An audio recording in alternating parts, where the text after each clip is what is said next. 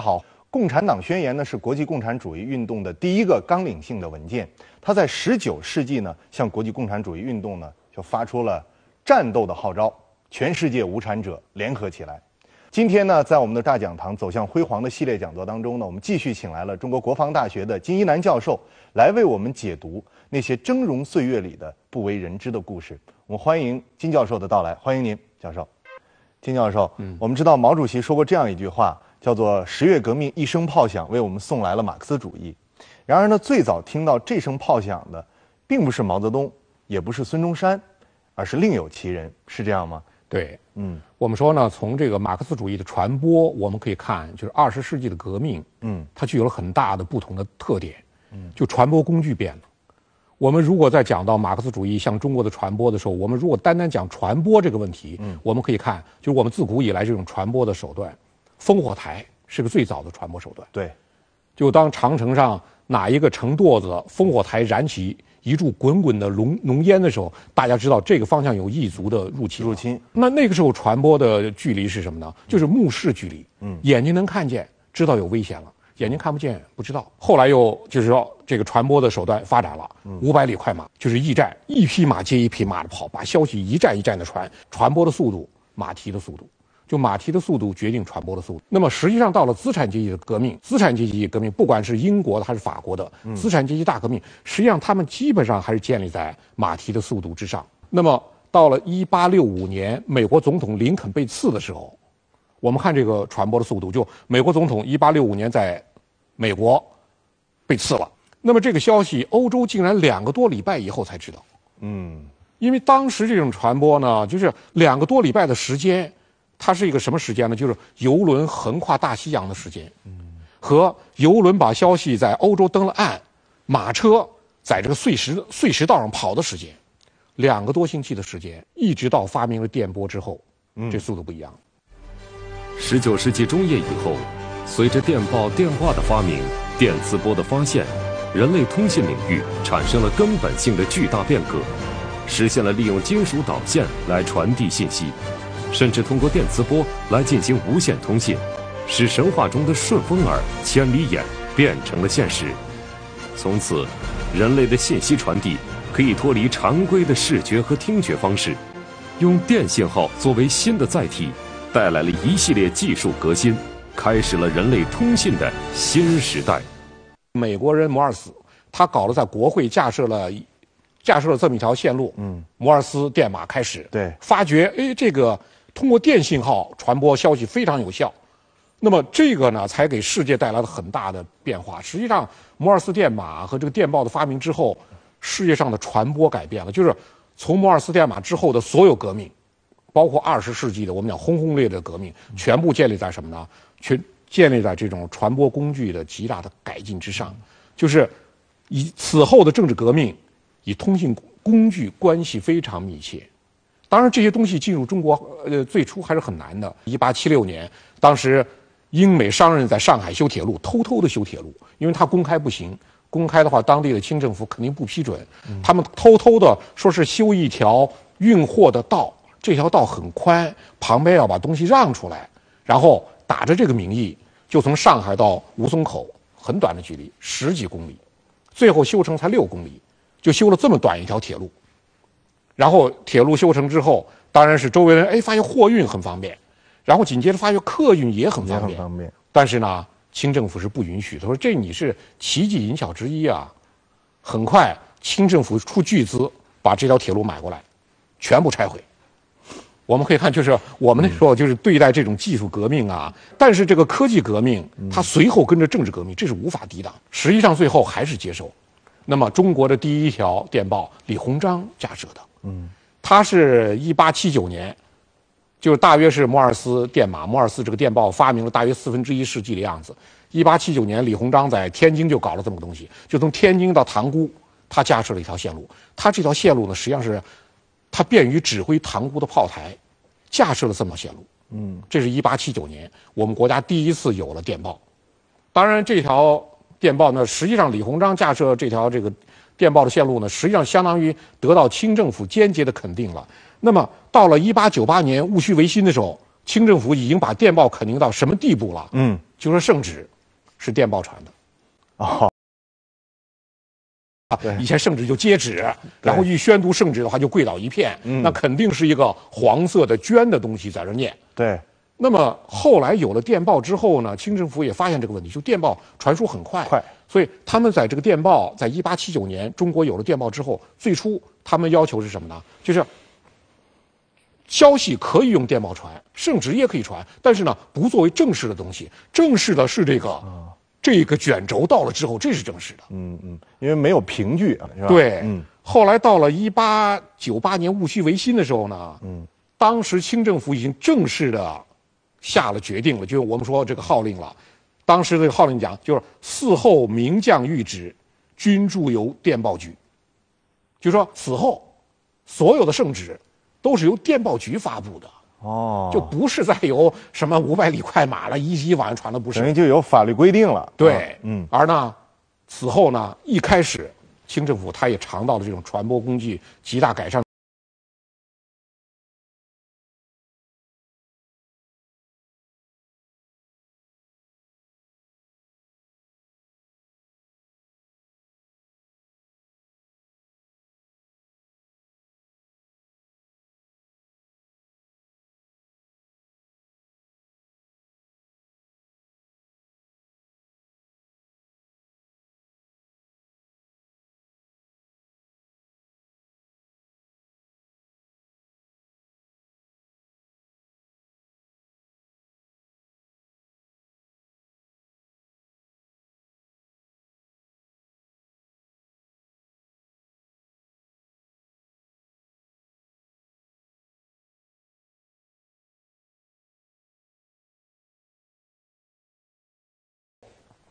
给天津的荣禄，就是直隶总督荣禄发了一封电报，就是电报，电报速度很快。我们想慈禧他当初镇压这个戊戊戌变法，他就是用的电报。如果说慈禧当初不知道电报，不用电报，他还是用什么五百里快马，起码从北京消息传到天津，你这马你你也得跑上将近一天的这个时间。那么你实际上是耽误的。你就如果耽误一天两天，荣禄得到消息，然后进京再慢一些，那。就是这个维新党人有没有可能进一步的成功呢？或者是他们能够大量的脱逃呢？这都有可能。但是慈禧利用了电报，电报速度，在这个关键的时刻，对，嗯，所以说他当时讲的也是，就发现一方面指责西方这个技术奇技淫巧，最后也发觉这个东西他认为要带来一系列变化。结果他最后发现这个东西镇压革命也是很快的，确实有用啊，奇技淫巧还带有略带不屑的这种。感觉在里头哈，对，嗯，我们讲的就是马克思主义传到中国，就是当时的传播工具发生了非常大的改变，嗯，这种传播工具的改变，其实它跟革命啊，就是我们说革命两个轮子，一个是政治理念的，一个是技术领域的。当然，技术的经济领域的，实际上它带有更大的推动性，更大的颠覆性，它是从基础开始的，对，所以政治从上层建筑开始。对对对，哲学里讲就是经济基础就在决定上层建筑哈，对，那它推动性很巨大，嗯。我们当时呢还能看到，我觉得还有一个例子很有意思，就是孙中山。嗯，孙中山他在一九就是一九一一年辛亥革命的时候，辛亥革命成功推翻清王朝的统治，那是孙中山追求了多少年的这种梦寐以求的梦想。一九一一年，中国爆发的资产阶级民主革命，因该年以干之际为辛亥年，所以称为辛亥革命。它是在清王朝日益腐朽。帝国主义侵略进一步加深，中国民族资本主义初步成长基础上发生的，其目的是推翻清朝的专制统治，挽救民族危亡，争取国家的独立、民主和富强。领导这次革命的是中国资产阶级的政党同盟会。这次革命结束了中国长达两千年之久的君主专制制度，是一次伟大的革命运动。啊，我们说，当这个真正的辛亥革命到来的时候呢，孙中山并不知道。虽然有了电报，传播工具发生了很大的改变，但是孙中山不知道。就是一九一一年十月十号，当时的辛亥革命发生那一天，孙中山在美国，嗯，他在美国的中部、西部募捐募款，他准备到东部到丹佛那一带去募款。实际上十月十号这一天呢，在此之前他已经收着黄兴给他发的电报了。嗯，讲了些这么几个意思：新军必动，新军就是在武汉的那个军营里的新军，必然就是武昌，嗯，新军必然要暴动了，新军必动，嗯，请速汇款应急，就赶紧寄钱来，革命也是需要钱的，要买军火等等的这个事情。然后呢，请钱来主持，就你第一汇款，第二赶快返回来领导。主持大局。对啊，但是我们讲传播工具发生了非常大的变化了。但是孙中山这封电报呢，黄兴发给他了，他当时很晚赶火车，他把电报，因为电报有密码。嗯，你要像这种革命党人在互相发电报，你被对方截获了，很要命，有密码。对，密码呢放在孙中山那个行李箱里了，行李箱他实现托托运在火车上，所以他当天晚上无法破译。他就是发来了电报，他只是坐火车，第二天到了丹佛，下了车之后，打开了密密码箱才可以破译。结果呢，到丹佛的时间很晚，他当时已经知道呢，就是武昌的新军啊要发生这样的事变了，嗯，要动了，嗯。但是呢，孙中山呢，我们说当时孙中山搞了多少次起义，全部失败。就在武昌起义之前半年，就是一九一一年四月份，广州起义。一九一一年四月二十七日下午五时三十分，黄兴率一百二十余名敢死队员直扑两广总督署，发动了同盟会的第十次武装起义——广州起义。起义军浴血奋战，东奔西突，终因兵力严重不足而溃败，死难的有名可考者八十六人。广州革命志士收敛牺牲的同盟会会员遗骸七十二具。葬于广州郊外的黄花岗。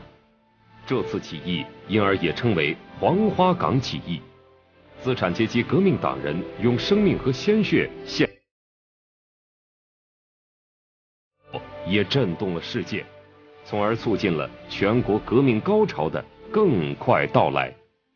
广州起义是孙中山竭尽全力，投入了很多精力，投入很多力量组织的。孙中山刚刚经历过失败，现在要现在黄兴来电报说是马上要起义，武昌，然后对武昌要起义，赶紧汇款，赶紧前去领导。所以孙中山呢，后来他翻译出了这个电报，他就轻轻放一边了。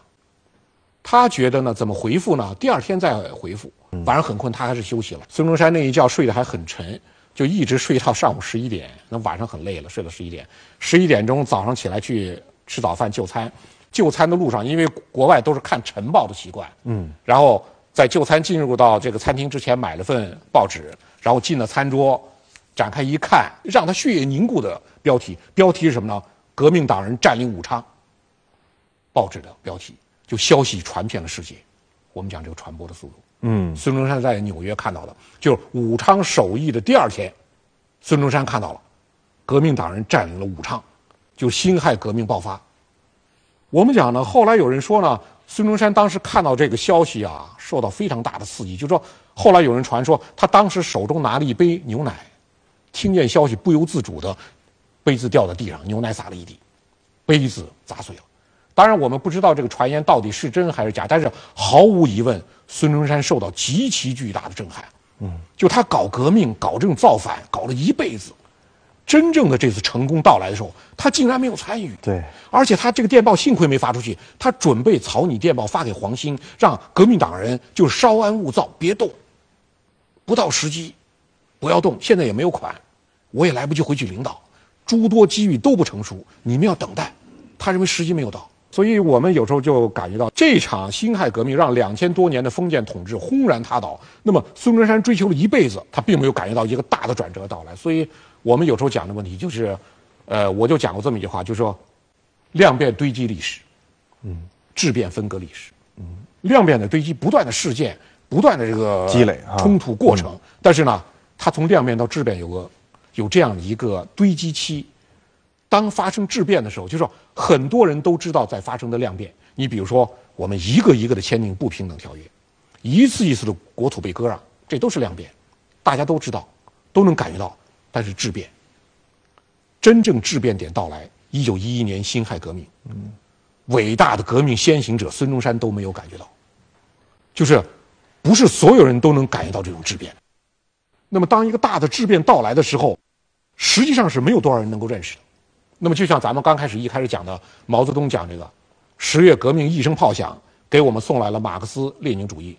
那么当这一声炮响响起的时候，当马克思主义传到中国的时候，有几个人认识到十月革命这声炮响是震撼性的？十月革命发生于一九一七年十一月七日，俄历十月二十五日，在列宁和托洛茨基等人的领导下，俄国共产党布尔什维克领导工人士兵发动武装起义，建立了苏维埃政权。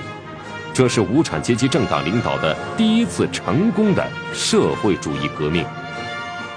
这声炮响之后，整个东方的格局发生巨大的变化。那么一场。轰轰烈烈的革命不仅在中国，在整个东方要开展。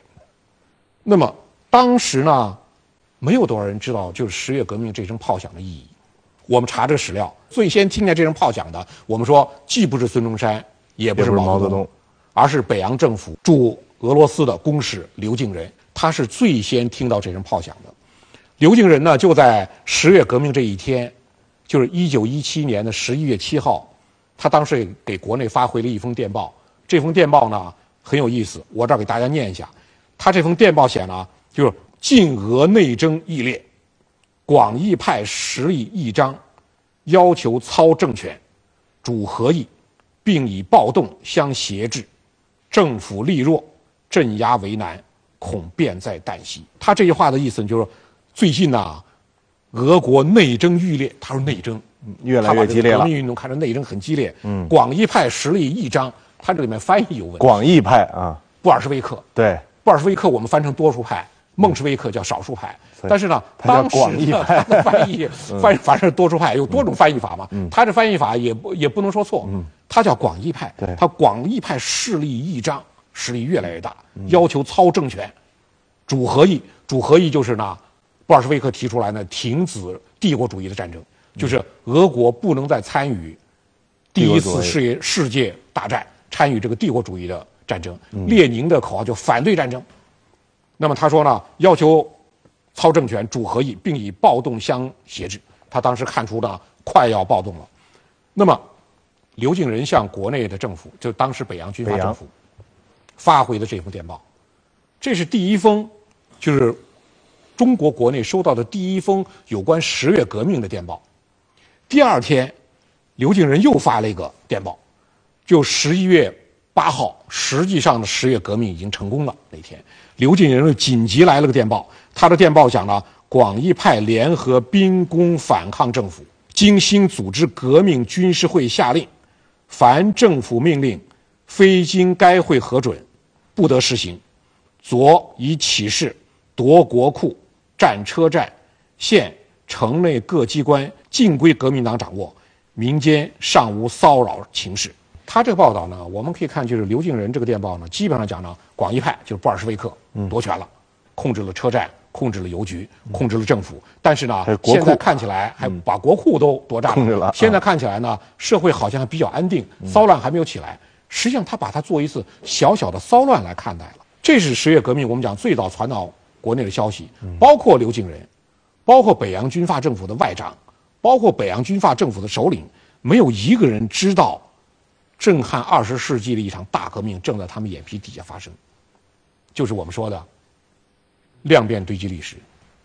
十月革命一声炮响也是个质变点，对，没有人认识到，北洋军阀政府也没有认识到。那么呢，我们从呢就说。当时刘敬仁传回这些电报的时候，他完全不知道，就是我亲手传回的这些电报，实际上预示着世界东方将要发展发生一次天翻地覆的革命运动。二十世纪上半叶，中国进行着轰轰烈烈的革命运动。对于这场斗争，苏俄在中国最早看好的是吴佩孚，斯大林看好的是蒋介石，共产国家大部分援助和经费也都提供给了国民党。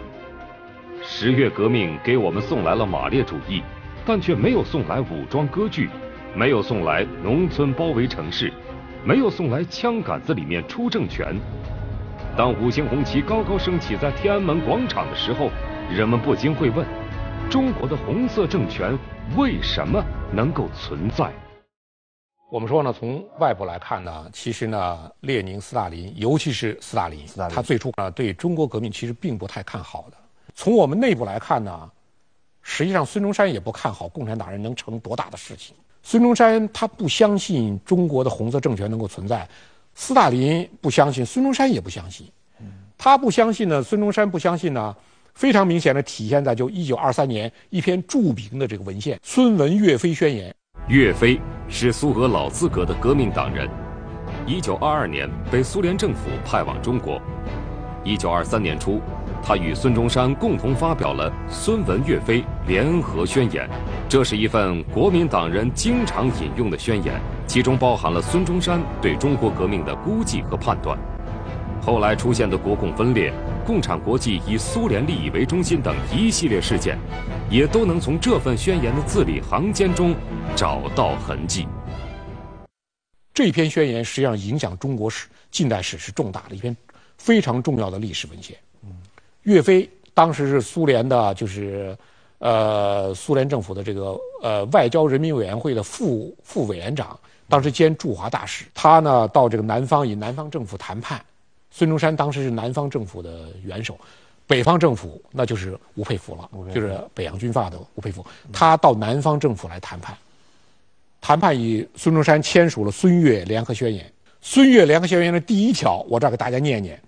第一条就写：孙中山博士认为，共产主义秩序乃至苏维埃制度不能实际上引进中国，因为在这里不存在成功的建立共产主义或苏维埃制度的条件。然后是岳飞先生完全同意这一看法，并且进一步认为。中国当前最重要、最迫切的问题是实现国家统一和充分的民族独立。我们说孙中山、岳飞，一个是中国民主革命的伟大先行者，一个是共产国际，包括苏俄的布尔什维克的党人。两个人共同看法一致：中国不存在建立红色政权的基础条件，共产主义、苏维埃制度在中国是没法搞的。对。那么我们说孙中山的不信。不信红色政权能够在中国存在，一半是出于他对三民主义的信仰，另一半出自他对刚刚成立的共产党人的担心。全是一伙年轻人，非常有活力，非常有冲劲儿。这些人如果再得到苏俄的支持，就不得了，如虎添翼。所以他要通过这纸宣言呢，就是说跟岳飞、苏俄驻华的大使讲清楚，你们不能支持他，你也得承认他没有存在的可能。这是孙中山的底数。那么。岳飞不相信呢，他作为就是苏联驻华的这个全权大使，他实际上是什么呢？带有很大的苏联的国家利益的考虑。他倒并不是说完全不相信，他主要考虑苏联的国家利益。国家利益。因为当时岳飞来华之前，比他来华就是他与孙中山签署这个《孙岳联合联合宣言》之前，他是一九二三年签的。一九二零年，当时来华的一个叫维金斯基。维金斯基也是这个近代我们党史建立上一个重要的共产国际的人物。嗯，他来华帮助中国共产党建立。他来华之前呢，得到了俄共中央给他的指示。这个指示就说呢，我们在远东的总政策是立足于日美中三国利益发生冲突，要采取一切手段来加剧这种冲突。就是你一看这话就看得非常清楚，就是帮助中国共产党建立，并不是说。苏联要真正的在远东，在中国搞一场轰轰烈烈的工人运动、无产阶级运动，不是的，是一股牵制力量。嗯，这股牵制的力量呢，阻止帝国主义再对苏联发生这样的这个进攻啊，在东方把帝国主义牵制住，缓解他的压力。对，战略上的考虑啊。所以后来大量的来华帮助中国共产党建立的这些共产国际的人员，实际上也是就是布尔什维克党人不少。他们大量受远东局的派遣，远东局负责东方的事务，他还往往还不是俄共中央、共产国际直接的领导，他往往是通过远东局。远东局呢，就作为这样一个在远东这一块呢，保持这样一个帝国主义的平衡，不要让一边做大，出这出于这样考虑。当时呢，苏联还有一些国家利益的考虑呢，当然说起来比较复杂。你比如说中东铁路的问题，中东铁路呢，实际上呢，我们说是清朝末年。李鸿章与俄罗斯达成密约，俄国达成密约，甲午战争战败，日本占了中国这么大的便宜。当时呢，清王朝一致认定日本是未来中国最大的威胁。对，那么怎么对付这个威胁呢？就是以夷制夷，引入俄国人来制约日本人。李鸿章访俄的时候签署了中俄密约，中俄密约的签署要引入俄国人来对付日本人。那么中俄密约里就有俄国人就提出要建立所谓就是中国东方铁路的问题。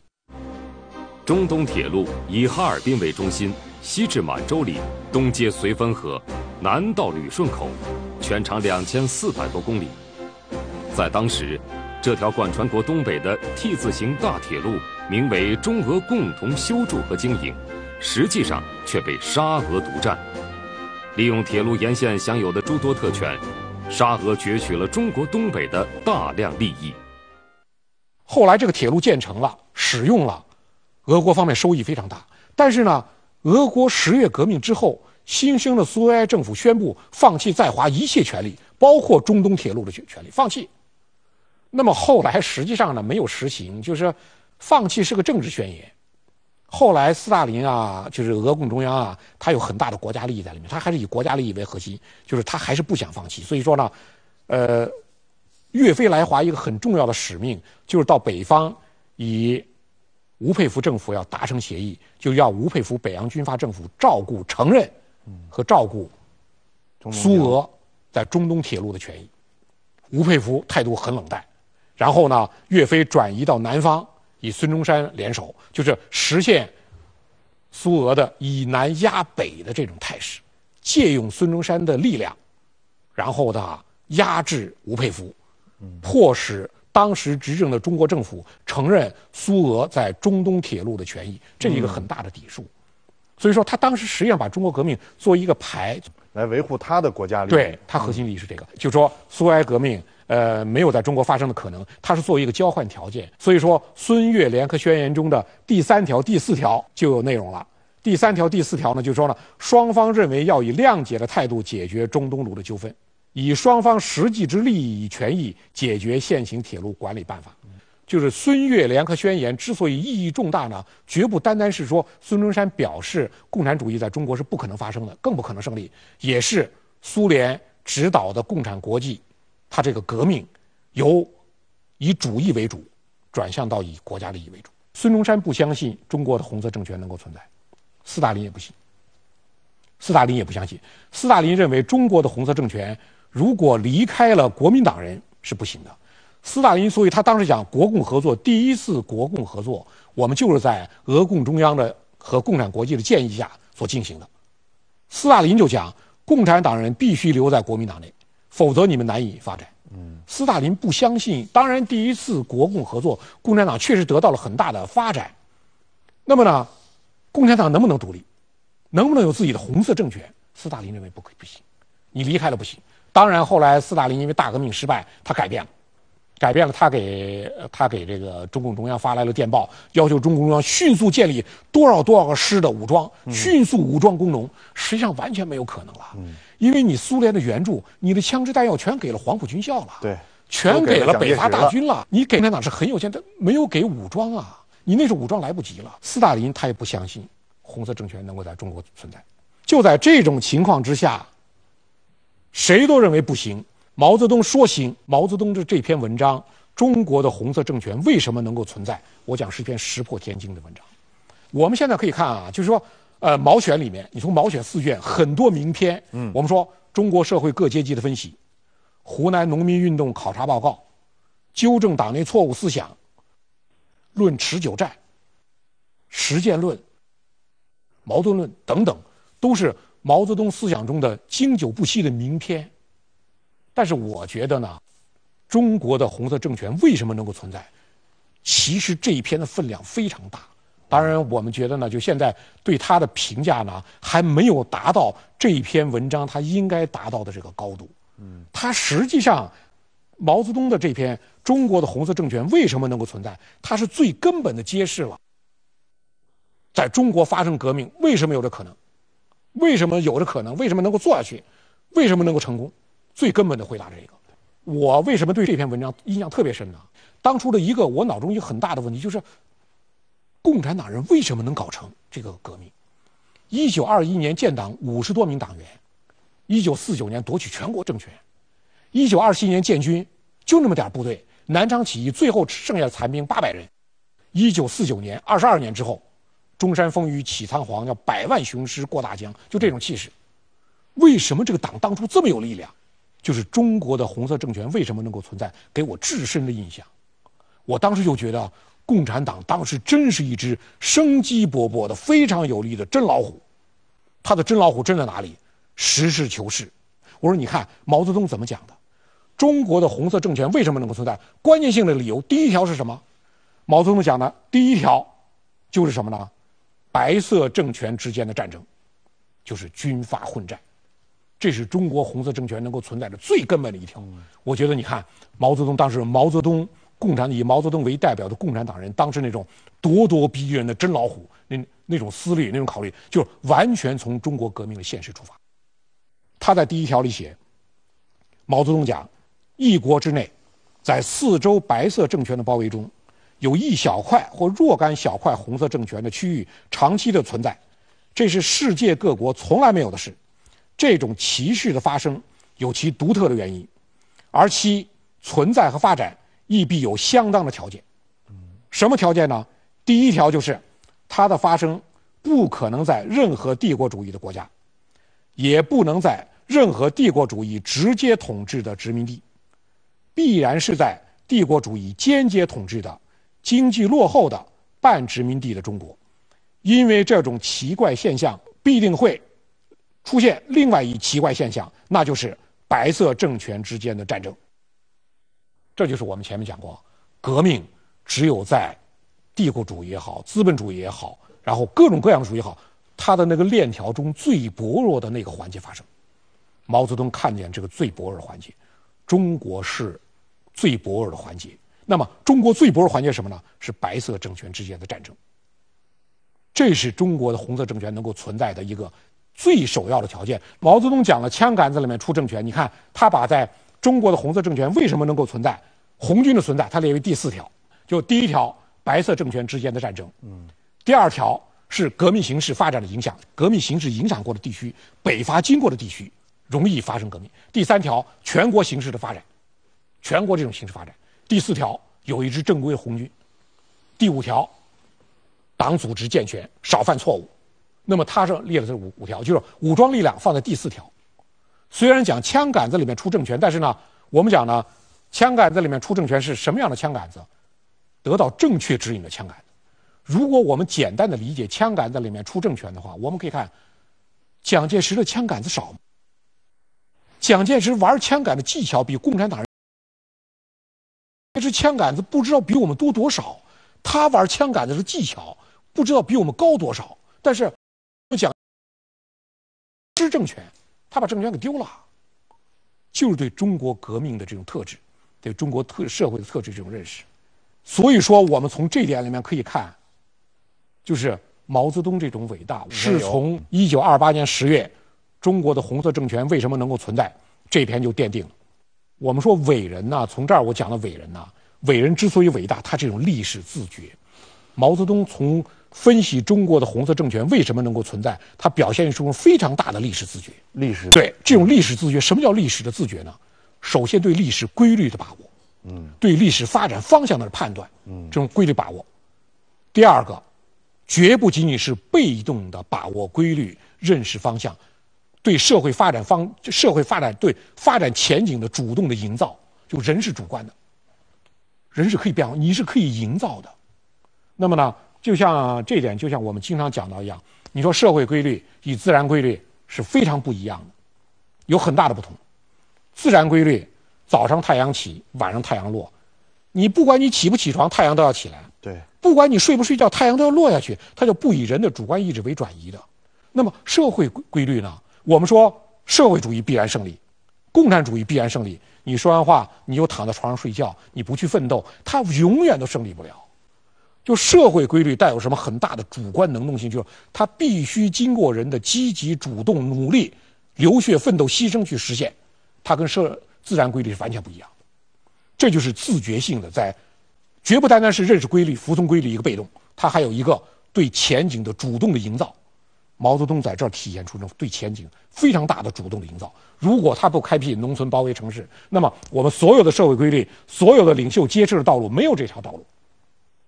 那么这是一种很大的历史自觉，就对历史的规律把握的基础之上，这种主动的营造。嗯，在这个基础之上，我们讲，也不是说中国的红色政权可以存在，它就能够存在的，认识到它具备存在的条件，然后这种努力、这种奋斗，最后使这种设想变为可能，最后变为现实。正是在这一基础之上，我们才可以说中国出了个毛泽东，这出了一个。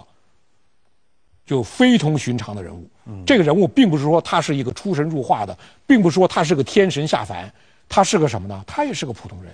我们后面还讲到，他也犯过错误，甚至犯过很多的错误，在指挥打仗上都犯过错误。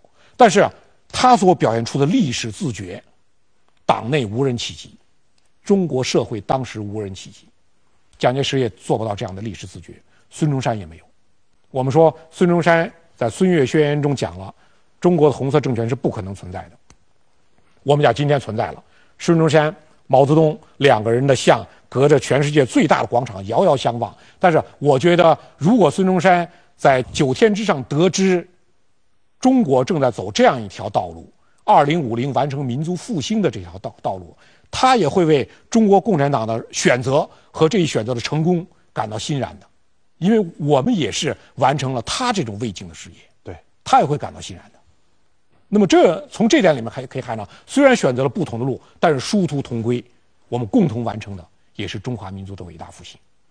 当然，我在这儿讲到，就这种选择，我们完成了吗？就说中国的红色政权为什么能够存在？我们今天是不是已经完成了？我觉得这个问题。还要在新一代共产党人的这种努力奋斗之中，还要一次一次的被问出来。一九八九年的柏林墙倒塌，嗯，一九九一年的苏联解体，苏联解体。那当时全世界，你从美国来看，美国根本不不把中国列为一个什么，像今天来看，美国认为中国今天是他的战略对手，当时不认为是什么战略对手，他认为中国迟早要垮台。对，他们没有想到一九九二的邓小平同志的南巡讲话。他们没有想到，小平同志的南巡讲话之后，中国新的一轮改革开放，中国新一轮国力增长高速增长开始。一九九二年一月十八日至二月二十一日，已经八十八岁高龄的邓小平，先后视察武昌、深圳、珠海、上海等地，发表了一系列重要的讲话。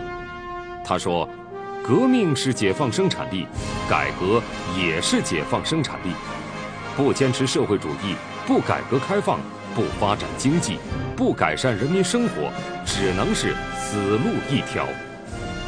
邓小平的南巡讲话，似一股和煦的春风，迅速吹遍了祖国大地。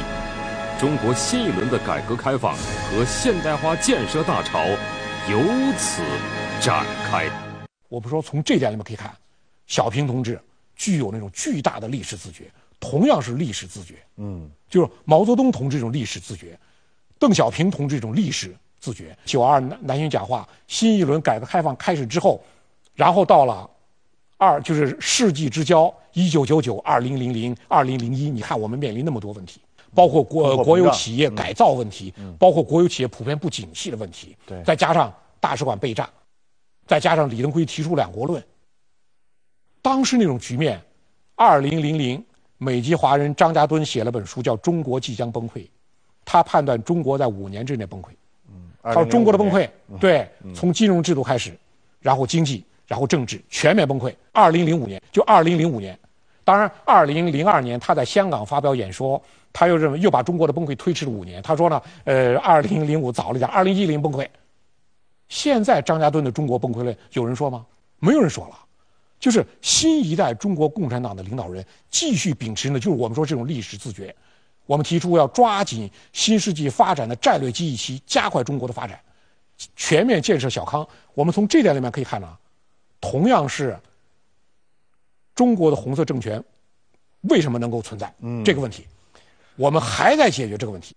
不是说这个问题已经被毛泽东同志已经彻底的解决了，我们今天还在解决这个问题，而且我们今后呢还将不断的面临这个问题。中国的红色政权为什么能够存在？它既是个历史的命题，它也是个现实的命题。